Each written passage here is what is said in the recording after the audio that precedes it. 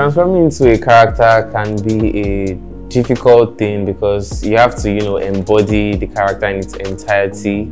You have to make it convincing to the audience. Action! When I read the script, I just fell in love with Alex even more. So that was my that was how I felt after reading the script. Working with um, my co-actors like Courtney, Chiso, Simi, uh, Tega, it was yeah, it was really a fun experience for me. I now came in contact with the with the character I thought of me from. You know, I said, Tega, this is what you think of me.